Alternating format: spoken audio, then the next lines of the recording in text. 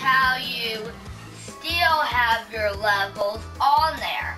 You just go down a new game, and it says this warning screen, so you want to do this, and then it brings you to the new game, but you could also do something else, like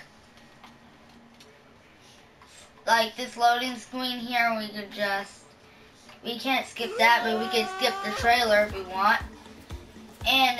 See that if we go into the warp room and see if we can go to the warp room, we can go into the warp room if we want.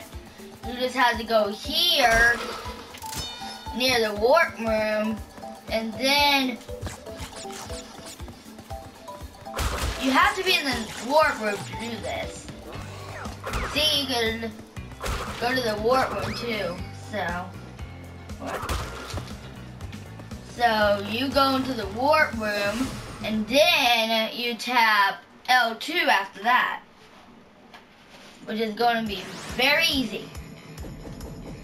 Okay, see how you sucked into the warp room? We can also skip that if we want.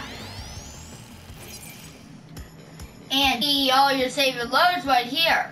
If you want Tiny Tiger, tap that, and the load game screen, and then it will bring you back to what you were continuing. Willie.